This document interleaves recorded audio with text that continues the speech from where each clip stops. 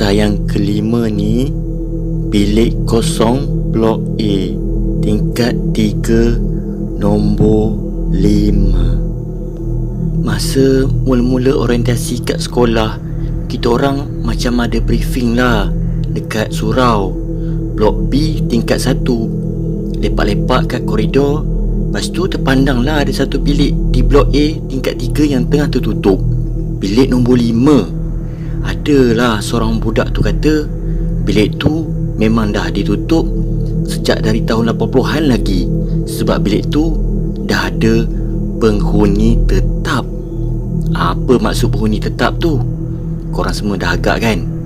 Aku tengok tembok koridor depan bilik tu kosong Bilik sebelah-sebelah dan lain-lain penuh dengan kasut sekolah yang dijemur Ceritanya Sesiapa yang jemur kasut Termasuk sikit je kawasan depan bilik tu. Esoknya kasut tu akan ada kat atas bumbung kolam mandi Yang terletak di tengah-tengah antara dua blok. Patutlah banyak kasut buruk. Aku tengok ada atas bumbung sekolah tu. Nak jadikan cerita Adalah seorang budak ni Nama dia Sally. Dia duduk di asrama blok C. Satu hari tu Dia lalu kat dewan makan Time petang macam tu.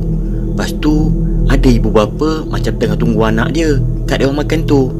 Normally ada orang kat konti radio asrama kat bawah tu akan buat announcement. Diorang akan panggil pelajar kalau mak bapak dia orang datang. Tapi petang tu tak ada orang.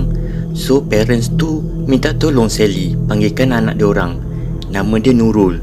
Dia duduk di bilik A25 Betul-betul bawah bilik yang ditutup tu. So Sally pun gigil lah berlari naik tangga. Tangga blok A ni pula terletak in between bilik 5 dan bilik 6 Entah macam mana Sally ni boleh pula terlajak naik sampai tingkat 3 Terus menuju ke bilik sebelah tangga. Blok A tingkat 3 tingkat 5 Maksudnya bilik nombor 5 Tapi yang seramnya Pintu bilik tu terbuka. Lepas tu Dia nampak Budak-budak perempuan kat dalam tu.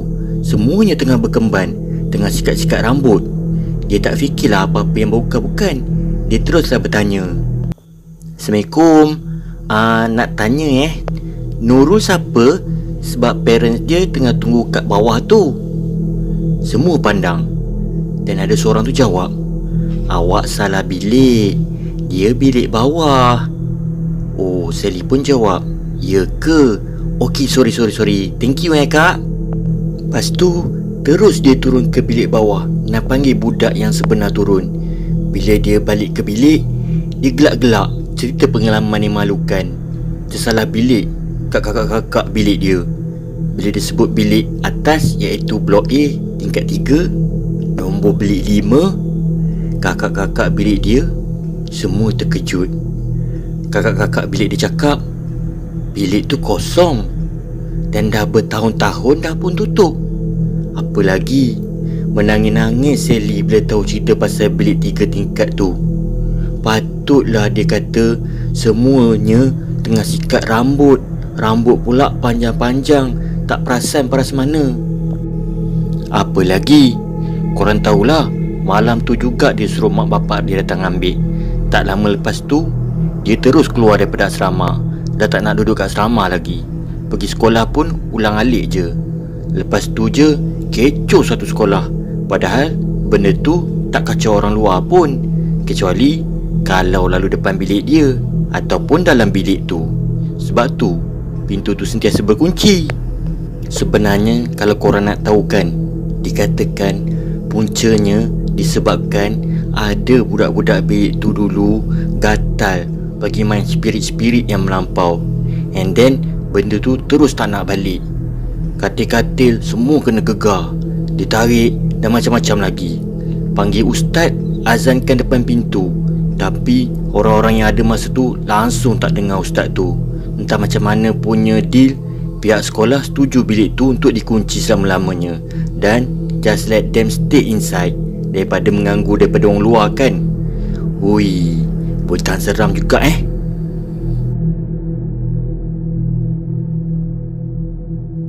Kisah Makcik Karipap Okey, cerita ni sebenarnya cukup popular dekat college student lelaki.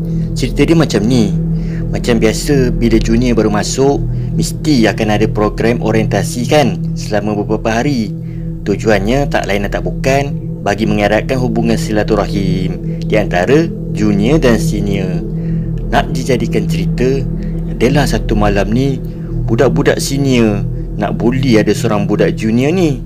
Senior tu suruh si junior Pergi beli karipak kat tingkat 3 blok D. Dia cakap ada orang jual kari pak sedap kat situ. Padahal Blok D tu Tak pernah wujud pun. Saja je nak test budak junior ni. So Si senior ni pun Gelak-gelak sakan. Apa lagi? Dapat bully budak-budak junior katakan.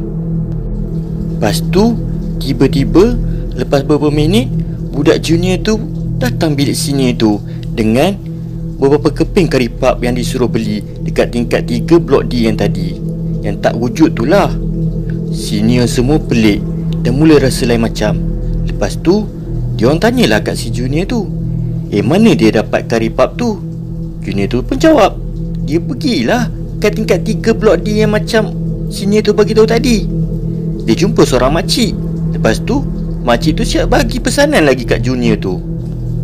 Bagi tahu dengan senior awak. Jangan Bully Budak Junior tau. Macam tu lah pesanan makcik tu. Muka budak-budak senior tu pun apa lagi? Masing-masing Semua yang dah bertukar pucat. Rasa terkejut Sampai menggigil badan. Persoalannya Kalaulah blok D tu tak pernah wujud Macam mana budak junior tu boleh sampai ke situ? Hmm Korang rasa macam mana eh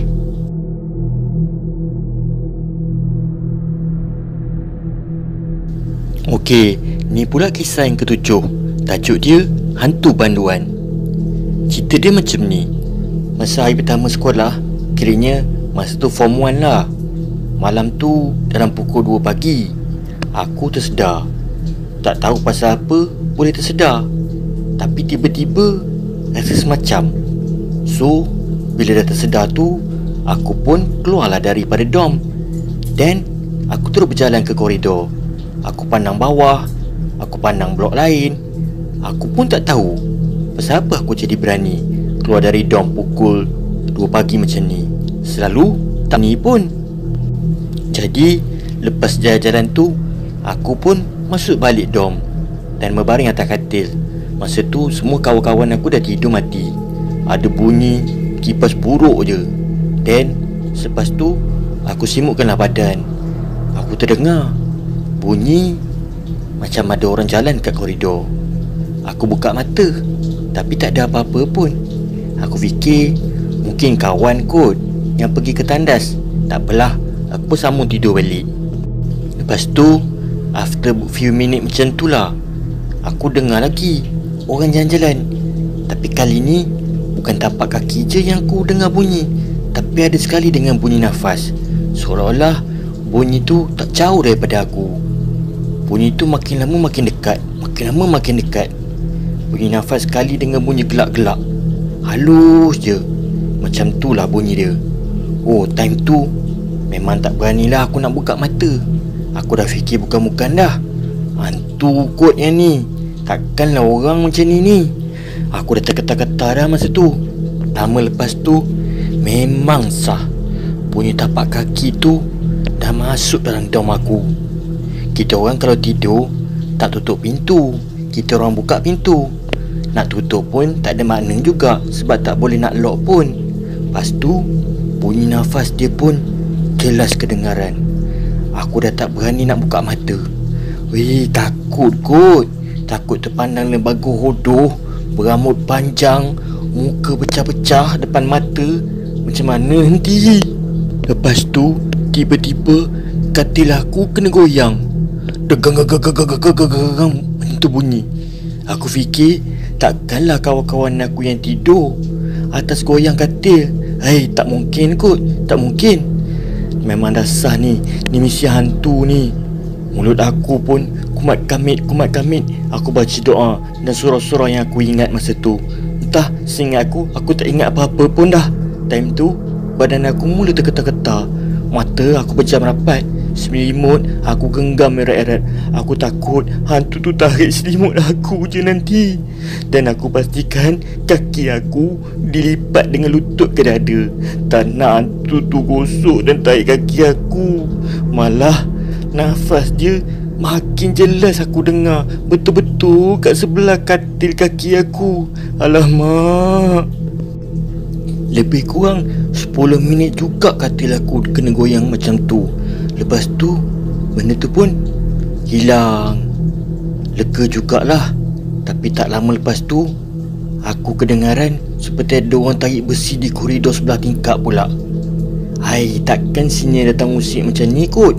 Takkanlah Bunyinya pula jelas kedengaran. Makin lama semakin kuat Makin lama semakin kuat. Lepas tu Tiba-tiba End up macam tu je. Tak dengar apa-apa dah. Cuma Aku terdengar bunyi ada orang tembak. Dan Jeritan kuat.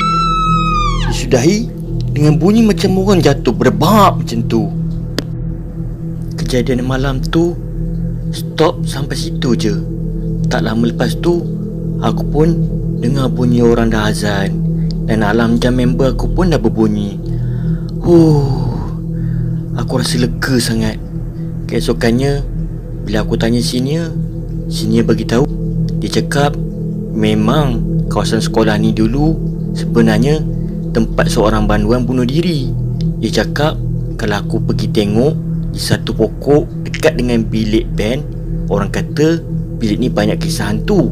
Akan ada satu rantai kaki yang tergantung di puncak di atas pokok tu. Dan hmm, memang betul. Ya, aku tengok memang ada rantai tu. Tapi aku masih lagi ragu-ragu lah dengan cerita sebenar. Bila aku tanya adik Sebab adik aku pun pernah bersekolah kat situ juga dulu. Aku tanya dia pasal gangguan. Dia cakap member dia pernah bagi tahu member dia pun kena gangguan yang sama